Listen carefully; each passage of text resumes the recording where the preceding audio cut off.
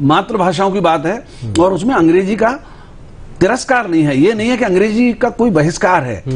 मातृभाषा को प्राथमिकता देने की बात है और अंग्रेज़ी में भी लोग पढ़ सकते हैं। अंग्रेज़ी में बहुत सारी चीज़ें उपलब्ध हैं। चूँकि हम ग्लोबल विलेज में रह रहे हैं तो अंग्रेज़ी का तिरस्कार नहीं है बल्कि मातृभाषा को उसका उचित स्थान देने की बात है। और ये मुझे लगता है आने वाली पीढ़ियों के लिए एक बहुत अच्छी एक व्यवस्था भी बनने वाली है और अपनी भाषा में वो पढ़ाई कर सकते सतीश जी, ये सोच और इच्छा शक्ति को भी दिखाता है। क्या आपको लगता है, वर्षों से और पूरे देश और दुनिया में मेडिकल की पढ़ाई अंग्रेज़ी में हुआ करती थी?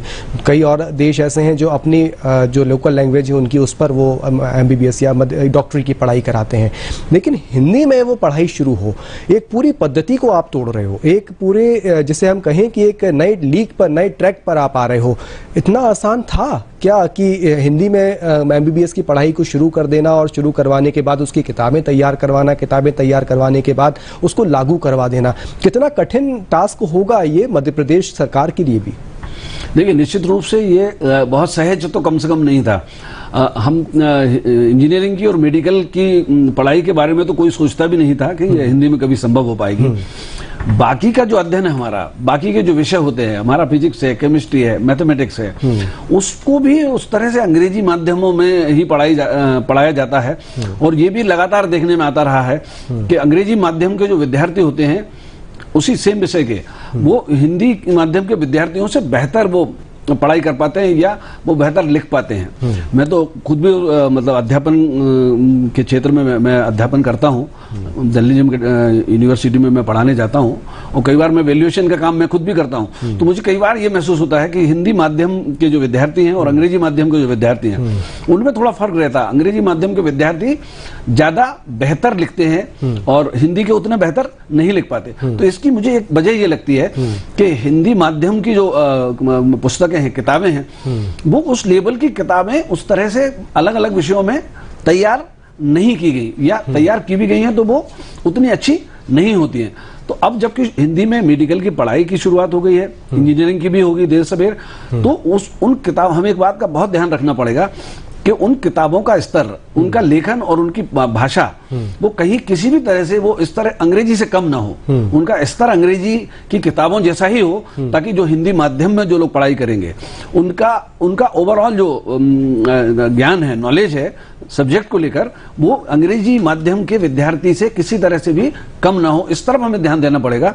अभी मुझे नहीं पता है कि वो हिंदी माध्यम की किताबें मेडिकल की हैं तो वो कैसी हैं क्योंकि कोई उसको रूपांतरित किया गया उसको अनुवाद नहीं किया गया रूपांतरित किया कोई प्रोफेसर कोई वरिष्ठ चिकित्सक जो पहले पढ़ा चुके हैं या जो अध्यापन कर रहे हैं, वही उनके बारे में ज़्यादा बेहतर बता पाएँगे। और वो विद्यार्थी भी बता पाएँगे जो अभी अंग्रेज़ी के माध्यम में पढ़ रहे हैं और जब वो हिंदी की उन्हीं किताबों को जब हिंदी माध्यम में वो पढ़ेंगे, देखेंगे तो वो बता सकेंगे कि इनका स्तर उस स्तर पर अभी आ पाया है नहीं। क्योंकि ये सुधार की प्रक्रिया तो लगातार चलती है। अगर उस लेवल पर अगर वो अभी नहीं भी आई है तो उनको लाने का प्रयास होना चाहिए। और निश्चित रूप से मुझे पूरी उम्मीद है कि हमारी भाषा में मातृभाषा में, हिंदी हो या भारत की किसी कोई भी भाषा हो, किसी भी राज्य की, उसमें उस तरह का अध्ययन सामग्री हम तैयार कर पाएँगे, जैसा कि अंग्रेज़ी में उपलब्ध होती है। और भाषा का भेद खत्म हो जाएगा। विद्यार्थी अपनी मातृभाषा में, अपनी ही भाषा में उसी तरह से अध्ययन करके उसी स्तर पर शिक्षा अर्जित कर पाएँगे। जी बिल्कुल। आ, लेकिन एक चीज़ और आ, कि नई शिक्षा नीति को लागू करने वाला भी मध्य प्रदेश अगर समझें तो बहुत अग्रणी राज, राज्यों में से एक रहा है। और मध्य प्रदेश जिस तरीके से नई शिक्षा नीति को अपना रहा है क्या आपको लगता है कि नई शिक्षा नीति का को प्रयास भी यही है कि दुरुस्त अंचलों तक पहुँचे? आपको रोकूँगा सतीश जी हमारे साथ मध्य प्रदेश के चिकित्सा शिक्षा मंत्री विश्वास सारंग जी जुड़ गए हैं फ़ोन लाइन पर। विश्वास जी स्वागत करते हैं आपका दूरदर्शन मध्य प्रदेश पर।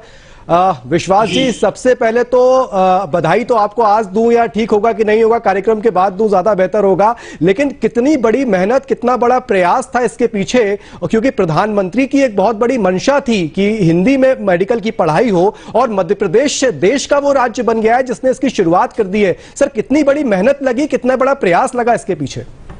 निश्चित रूप से देखिए हमारे देश के यशस्वी प्रधानमंत्री नरेंद्र मोदी जी का ये संकल्प है और हमारे मुख्यमंत्री शिवराज सिंह चौहान जी की पहल है और मध्य प्रदेश देश का पहला राज्य बनने वाला है जो हिंदी में अब मेडिकल की पढ़ाई कराएगा हमारी राष्ट्रीय शिक्षा नीति में भी ये इंगित था हम्म। और हमें प्रसन्नता है कि मध्य प्रदेश पहला राज्य होगा जहाँ हिंदी में मेडिकल की पढ़ाई होगी हम्म। हमने फ़र्स्ट ईयर की तीनों जो सब्जेक्ट हैं एनाटॉमी फिजियोलॉजी और बायोकेमिस्ट्री की हिंदी किताबों का ट्रांसलिट्रेशन कर लिया है और अ, ये हम सबके लिए प्रसन्नता की बात है कि हमारे देश के यशस्वी गृह मंत्री 16 अक्टूबर को भोपाल में लाल परेड ग्राउंड पर आ रहे हैं और उनके कर कमलों से इन किताबों का विमोचन होगा।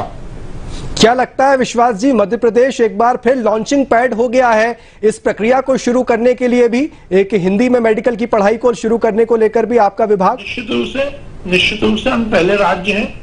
ये हम सबके लिए गौरव की बात है कि आज़ादी के अमृत महोत्सव पर हमने ये काम किया है और प्रधानमंत्री जी का सपना साकार हुआ है। विश्वास जी, क्या लगता है आपको? क्योंकि ये बहुत कठिन प्रक्रिया थी, आसान नहीं था। लोगों, बहुत समय के बाद इस पर विचार हुआ और विचार होने के बाद अब आगामी समय में, चूँकि हर जगह अंग्रेज़ी में ही मेडिकल की पढ़ाई हो रही थी, अब जब हम इसको हिंदी में पढ़ाने शुरू करने जा रहे हैं इस पूरी प्रक्रिया को कैसे अपनाया जाएगा और कि जो बच्चे तैयार होंगे, वो किस तरीके से देश और दुनिया में अपना काम शुरू कर पाएँगे, आगे रख पाएँगे?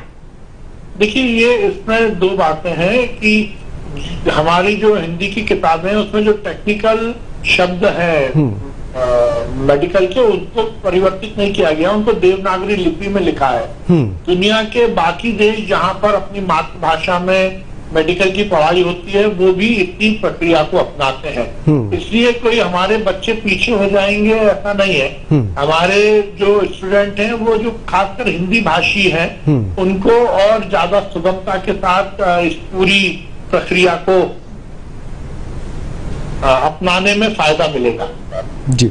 बहुत बहुत शुक्रिया विश्वास जी बहुत बहुत शुक्रिया। धन्यवाद बहुत बहुत धन्यवाद। हमारे साथ विश्वास सारंग चिकित्सा शिक्षा मंत्री मध्य प्रदेश शासन जुड़े हुए थे और बता रहे थे कि किस तरीके से रूपांतरण किया गया है किताबों का। ये सीधा अनुवाद नहीं है। जो टर्मिनोलॉजी मेडिकल के क्षेत्र में किताबों में इस्तेमाल की जाती है वो तमाम टर्मिनोलॉजीज का साथ साथ हिंदी के साथ साथ वो भी किताबों में शामिल किया गया है। और आगामी समय में जो हिंदी में पढ़ाई करने वाला एमबीबीएस की पढ़ाई करने वाला जो छात्र होगा वो देश और दुनिया में अपनी बात रख सके, अपना काम कर सके इसको लेकर उन किताबों में पूरा ध्यान रखा गया है। सतीश जी, लेकिन नई शिक्षा नीति, एक ऐसी शिक्षा नीति जो उन लोगों को भी जोड़ने का काम करने पर के- लिए तैयार की गई है, जो शिक्षा से कहीं दूर थे, या जो लोग शिक्षा तक नहीं पहुँच पा रहे थे, या शिक्षा उन तक नहीं पहुँच पा रही थी। आप, कई लोग ऐसे थे, कई छात्र ऐसे होते हैं, कई विद्यार्थी ऐसे, जो जो हिंदी माध्यम के थे, लेकिन वो सोच भी नहीं पाते थे कि वो कभी मेडिकल की पढ़ाई कर पाएँगे, वो कभी इंजीनियरिंग की पढ़ाई कर पाएँगे। लेकिन अब जब हिंदी में मेडिकल की पढ़ाई हो, की शु- शुरुआत हो जाना क्या आपको लगता है कि ऐसे छात्रों के लिए भी या दूर में बैठे उन हिंदी माध्यम के छात्रों के लिए भी एक बहुत बड़ा सपना उनका पूरा होगा और जो नई शिक्षा नीति की परिकल्पना है कहीं ना कहीं वो भी सार्थक होगी। मुझे लगता है कि ये जो लोग हिंदी माध्यम के विद्यार्थी हैं और जो दूरस्थ अंचलों में दूरस्थ स्थानों पर रहते हैं और अंग्रेज़ी माध्यम की पढ़ाई वो उस तरह से हासिल नहीं कर पाते और या हम ये कहें कि आ, वो उस तरह की अंग्रेज़ी की पढ़ाई उपलब्ध हो भी तो अगर कोई हिंदी में ही पढ़ाई करना चाहता है तो उसके लिए अवसर नहीं था। अब उसके लिए अवसर उपलब्ध है और जो नहीं कर पाते हैं हिंदी में पढ़ाई उनके लिए भी अवसर है। तो एक एक बड़ा विकल्प है और जैसा कि अभी विश्वास सारंग जी बता रहे थे मुझे बड़ी अच्छी उनकी बात लगी कि जो किताबें जो लिखी गई हैं हिंदी में उसमें टर्मिनोलॉजी नहीं बदली गई है। क्योंकि हमारे देश में जब से दे- राष्ट्रभाषा हिंदी को राजभाषा के तौर पर स्वीकार किया गया और उसके इसके बावजूद वो अंग्रेज़ी हावी रही उसकी प्रमुख वजह यह रही कि हमने क्या किया कि हर क्षेत्र में हमने पारिभाषिक शब्दावली एक बनाई। और उसमें हमने संस्कृत निष्ठ हिंदी जो हम बोलचाल की बजाय ऐसी हिंदी जो हिंदी कम संस्कृत ज़्यादा थी उनके शब्दों को हमने अंग्रेज़ी से अनुवाद किया हिंदी में और उसको हमने लागू किया। तो वो उस तरह से प्रचलन में या बोलचाल में या अभ्यास में या शिक्षा में भी वो नहीं आ पाया। पारिभाषिक शब्दावली जब हम गढ़ते हैं, जब किसी प्रचलित अंग्रेज़ी के प्रचलित शब्द का जब हम हिंदी में बहुत संस्कृत वाला अनुवाद करके वो शब्द लगातार बहुत सारे शब्द बनाते हैं तो वो बोलचाल में या लोगों के जेहन में या कामकाज के उसमें नहीं आ पाते। यही स्थिति शिक्षा के साथ होती है कि जिस विषय की पढ़ाई अंग्रेज़ी में होती रही है, अंग्रेज़ी में जिसका साहित्य उपलब्ध है, जिसकी किताबें उपलब्ध हैं, उसको जब हिंदी में हम अनुवाद करते हैं, उसको पारिभाषिक शब्दावली का प्रयोग करते हैं और उसको बहुत जिसको हम कहते हैं कठिन बना देते हैं जिनको हिंदी बोलचाल की हिंदी नहीं बल्कि वो संस्कृतमय हिंदी होती है तो वो लोगों को दिक्कत करती है। और बहुत उन्होंने क्लियर कर दिया है विश्वास सारंग जी ने कि हमने जो तकनीकी शब्द हैं या हम जिसको कहते हैं कि मेडिकल की जो टर्मिनोलॉजी है जो बोलचाल में आम पब्लिक भी उसको समझती है। जैसे जैसे रक्तचाप तो ठीक है लेकिन उसको ब्लड प्रेशर एक आ, बहुत कम पढ़ा लिखा व्यक्ति में ब्लड प्रेशर ही कहता है। डायबिटीज़ को वो शुगर ही कहता है। तो बहुत सारे शब्द है हमें भाषा को लेकर रिजिट होने की ज़रूरत नहीं जिसको कहते हैं कि हम भाषा को लेकर हर शब्द को हम बदलेंगे। जो बोलचाल में अंग्रेज़ी के या किसी और भाषा के शब्द प्रचलित हैं उनको उसी तरह से लें। और, और मेडिकल की जो टर्मिनोलॉजी है जो मेडिकल चिकित्सा की जो शिक्षा है या चिकित्सा पद्धति है डॉक्टर्स के बीच में जो बातचीत होती है जिसको आज मरीज़ और मरीजों के परिजन भी उस भाषा को समझते हैं। उसी भाषा के शब्दों को उस तरह से इस्तेमाल किताबों में किया गया है। तो निश्चित रूप से ये हिंदी भाषियों के लिए बहुत विद्यार्थी जो है, उनके लिए बहुत सतीश जी प्रयास प्रयास कितना महत्वपूर्ण होता है? क्योंकि ये हम तब बात कर रहे हैं उस मध्य प्रदेश की राजधानी में बैठ के बात कर रहे हैं सर जिस मध्य प्रदेश की राजधानी ने पिछले कुछ वर्ष पहले करीब 2015 में विश्व हिंदी सम्मेलन की मेजबानी की थी। उस मंच से कई डिक्लेरेशन हुए थे कई प्रस्ताव हुए थे जिनको देश भर में अपनाने की बात की, की जा रही थी। उसके बाद मध्य प्रदेश ने एक हिंदी विश्वविद्यालय की स्थापना की अटल बिहारी हिंदी विश्वविद्यालय मध्य प्रदेश में शुरू हुआ। और अब मेडिकल की पढ़ाई हिंदी में होना, राज्य सरकार के हिंदी को लेकर प्रतिबद्धता, हिंदी को विस्तारित करने की प्रतिबद्धता, हिंदी में कामकाज को बढ़ाने की प्रतिबद्धता कैसे देखते हैं आप? देखिए वो हिंदी जो विश्व हिंदी सम्मेलन जब हुआ था भोपाल में वो मैंने लगातार उसको कवर किया था और उसमें प्रधानमंत्री नरेंद्र मोदी जी भी आए थे हम्म। और उनका भाषण मुझे अभी भी याद है उन्होंने एक बहुत अच्छी बात उस वक्त ये कही थी उन्होंने कहा था कि हम सिर्फ़ हिंदी की भाषा की बात ना करें हम्म। हम भारतीय भाषाओं की बात करें हम्म। उन्होंने ये कहा कि क्यों हम ऐसा नहीं करते हैं कि हम हिंदी प्रदेश में अगर रहते हैं और हमारी मातृभाषा हिंदी है तो हम हिंदी के अलावा कोई भारत के किसी और राज्य की भाषा को हम सीखें जब हम हिंदी भाषी होते हुए हम अगर तेलुगु सीखते हैं हम्म। हम में से कोई व्यक्ति तमिल सीखता है हम्म। या उड़िया सीखता है या मलयालम सीखता है हम्म। उसी तरह से जैसे मलयालम भाषी कोई व्यक्ति हिंदी सीखता है या कोई उड़िया सीखता है मतलब एक से अधिक भारतीय भाषाओं को जब सीखता है इस तरह से जब हिंदी की स्वीकार्यता तब होगी जब हम भारत की दूसरी भाषाओं की उस तरह से स्वीकार्यता करेंगे। ये मोदी जी ने उस समय आह्वान किया था उस सम्मेलन में। उस सम्मेलन को हम कहते हैं वो प्रस्थान बिंदु था। कि मातृभाषा में शिक्षा की जो व्यवस्था की बात शिक्षा नीति में कही गई है, वो मोदी जी के उस सम्मेलन में दिए गए भाषण का ही विस्तार है, अमल में आना है। मोदी जी जो भाषण देते हैं, वो कहीं नीति में भी वो आता है, केवल भाषण दिया और बात खत्म हो गई, इतना भर नहीं है। शिक्षा नीति में वो बात शामिल हुई है कि हमें मातृभाषा में, यानी जिस राज्य की जो भाषा, उसमें पढ़ाई की बात है। तो मोदी जी की बात पर अगर हम अमल अभी भी लोग करेंगे हमारी अपनी भाषा के अलावा दूसरी भाषा भी सीखेंगे। तो निश्चित रूप से जो भारत की एक संकल्पना है, मज़बूत राष्ट्र की, सारे राज्यों में भाईचारे की जो भावना है, एकता की जो बात है, वो भी उससे मज़बूत होगी। तो निश्चित रूप से आपने अच्छा ज़िक्र किया हिंदी सम्मेलन का विश्व हिंदी सम्मेलन में मैं भी मौजूद था और लेकिन उस सम्मेलन में हम्म। एक और बात बहुत गहरे से बहुत गंभीरता से बहुत सामने आई थी हम्म। उस पर लगातार पब्लिक डिस्कोर्स में भी वो बात रहती है लोग ये कहते हैं हम्म। कि जब बड़े बड़े लोग भाषण देते हैं नेता लोग भाषण देते हैं हिंदी की बात करते हैं। लेकिन जब वो देखते हैं कि उनके परिवार के उनके अपने बच्चे अंग्रेज़ी माध्यम के स्कूलों में पढ़ते हैं और उस समय कई लोगों ने मंच से ये सवाल पूछे भी थे मंच पर बैठे हुए लोगों से कि आपके बच्चे किस माध्यम में पढ़ते हैं? क्योंकि हम ये चाहते हैं कि दूसरों के बच्चे तो हिंदी माध्यम में पढ़े लेकिन हमारा बच्चा जो है वो हिंदी माध्यम में नहीं पढ़ेगा वो अंग्रेज़ी माध्यम में पढ़ेगा। तो इस तरह की जो मान प्रवृत्ति है हमारे जो शासक वर्ग है सत्ताधारी वर्ग है या जो नौकरी पेशा लोग हैं या जिसको मध्य वर्ग कहते हैं या उच्च वर्ग कहते हैं उसकी इस उसको भी इस मानसिकता से बाहर निकालने की ज़रूरत होगी। मुझे लगता है ये शिक्षा नीति शिक्षा नीति मदद कर सकेगी। गुलामी की मानसिकता को भी दिखाता है।